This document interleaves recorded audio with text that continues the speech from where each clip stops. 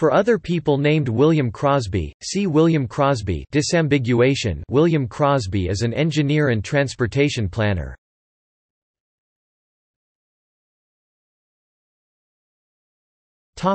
Background Crosbie holds an honours bachelor's degree in electrical engineering from Queen's University in Kingston, Ontario, and a master's degree in security studies Homeland Security and Defense from the Naval Postgraduate School in Monterey, California.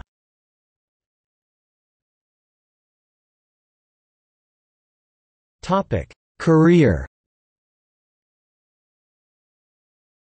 Crosbie began his career with the Canadian Pacific Railway, where he worked for six years, designing and commissioning railway signal and communication systems in Canada and the United States.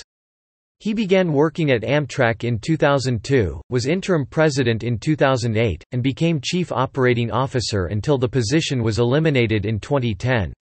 He then worked for Parsons Corporation and thereafter as CEO for SYSTRA.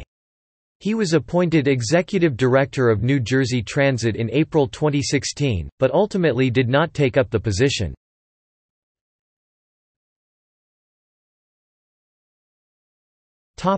See also George Warrington James Weinstein